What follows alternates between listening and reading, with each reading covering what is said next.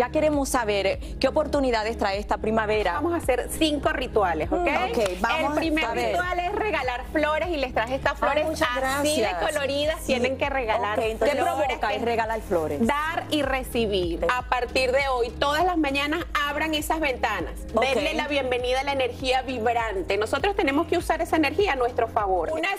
Escobita que tú misma vas a hacer. ¿Qué voy haciendo? Vas a de ir, barro. le vas a dar así, con energía, más fuerte. Con energía. ¿Y qué pienso? ¿Qué Y pienso? piensas en que todo vibra en Todo verde, todo bien, crece, todo todo, crece. florece. Todo. Los colores de la primavera son azul y Azul. verde. Yo caigo en el verde también. Mira, el verde, por ¿Por qué si azul y verde? Azul y verde porque el agua alimenta la madera y ese es el ciclo constructivo de la naturaleza.